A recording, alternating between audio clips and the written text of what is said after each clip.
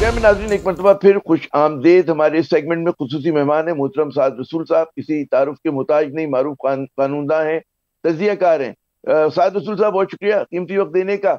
ये बताइए कि बहुत मतलब शोर मचा हुआ है चौबीस नवंबर के हवाले से। क्या आपकी तो हैं? आपको लगता है कि वाकई एहतजाज होगा या उससे पहले कोई बातचीत गुफ्तु के ज़रिए मामला तय होने का इम्कान है?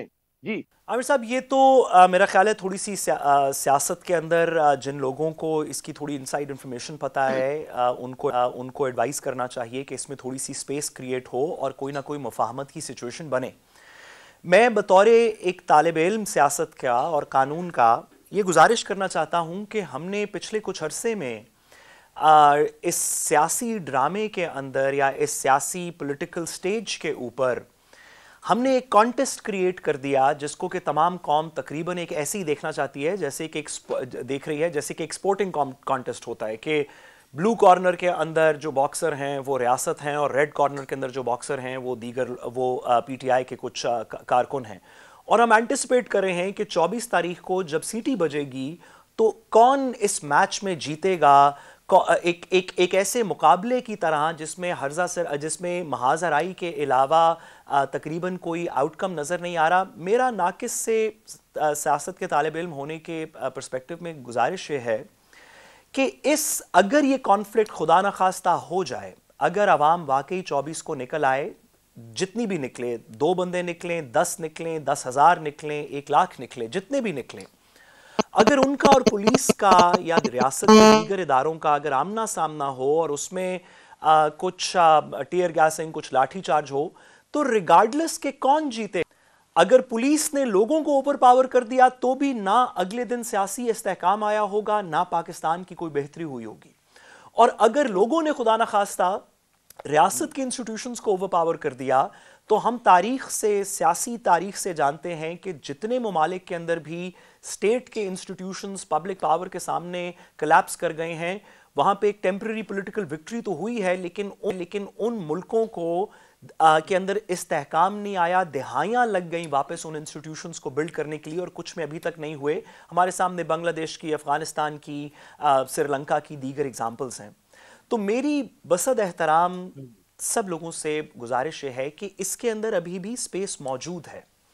इमरान खान साहब ने अपनी तीन डिमांड सामने रखी।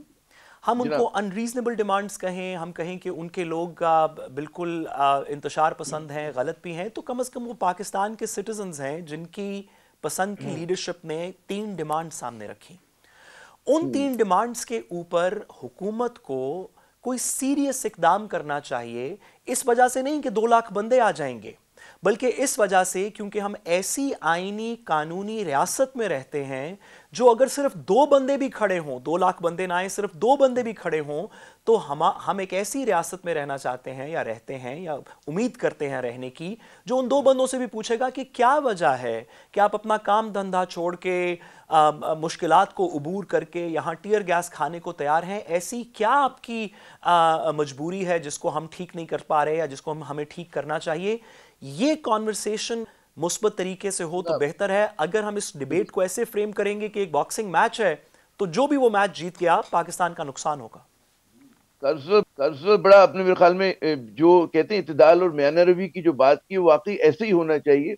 और उसमें ज़्यादा ज़िम्मेदारी जो है वो रियासत की होती है इदारों की होती है कि वो वो वो चाहते हैं कि जी अपने एनलाइटेंड सेल्फ इंटरेस्ट के अंदर किसी तरह से चीज़ों को जो है चलता रखें। आपके ख्याल में क्यों? ये जो कहते हैं कि बिल्कुल लचक का मुजाहरा नहीं कर रहे, हुकूमत कोई इस तरह का मुजाहरा नहीं करी लचक का। जरा कि पीटीआई के पास भी ऑप्शन बहुत महदूद हैं। इसी तरह हमेशा ये हुआ करता था कि जब कंट्रडिक्शन बहुत बढ़ता था तो कोई तीसरा फरीक आके मुफाहमत कराता था रिजॉल्व कराता था। अब तो मतलब है कोई इसके दूर दूर तक आसार नज़र नहीं आ रहे। आमिर साहब, इसमें आपकी बात बिल्कुल दुरुस्त है। देखिए, हमें दो चीज़ों का कंसेशन करना चाहिए।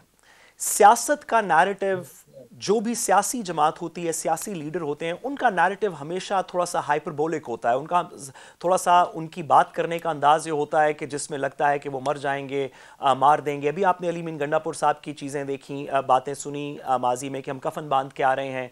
इससे पहले आ, हमें भूलना नहीं चाहिए कि शहबाज शरीफ साहब ने पेट फाड़ने थे लोगों को चौराहों पर उल्टा लटकाना था। सियासत के नैरेटिव में सख्ती हो सकती है क्योंकि वो एक कंस्टिट्यूंसी ड्रिवन नैरेटिव है कि लोगों की उम्मीद क्या है।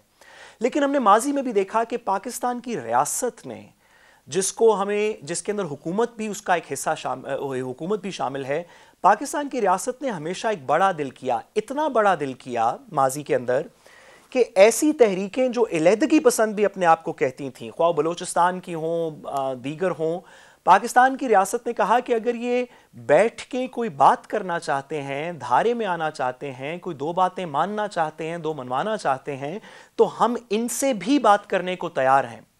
अगर आप ऐसे फ्रिंज ग्रुप्स को भी बात करने को आप तैयार हैं क्योंकि आप रियासत है और रियासत का बड़ा दिल होना चाहिए जैसे आपने कहा और है हमारी रियासत का तो एक मेन स्ट्रीम पोलिटिकल पार्टी जिसकी चले बहुत ज़्यादा नहीं तो भी एक बहुत बड़ी पोलिटिकल फॉलोइंग है यूथ के अंदर खास तौर पे उसके साथ एंगेजमेंट के अंदर तो कोई भी दरमियान में चीज़ नहीं आनी चाहिए।